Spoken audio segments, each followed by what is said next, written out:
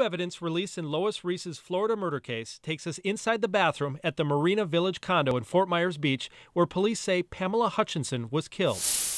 We've seen this clip of Riess at a bar talking to Hutchinson, who's wearing a pink camouflage hat. Evidence photos show Hutchinson was wearing that now blood stained cap when she was shot to death. First responders found towels tucked under the bathroom door. Investigators found a bullet hole in the ceiling.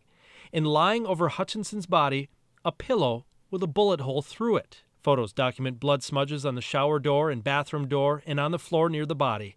The reports say investigators lifted a total of 40 fingerprints from the condo, and after Lois Riess's last court hearing, police took her fingerprints and footprints. The new evidence includes several surveillance photos of Riess while she was allegedly on the run, checking into a hotel after driving up in Hutchinson's car, using a gas station ATM after driving up in Hutchinson's car, driving through a bank window, and at a bank counter withdrawing cash. The photos show cash police found on Riess after they arrested her, as well as bullets and two guns. The reports indicate Riess's husband in Minnesota was killed very similarly to Hutchinson in Florida.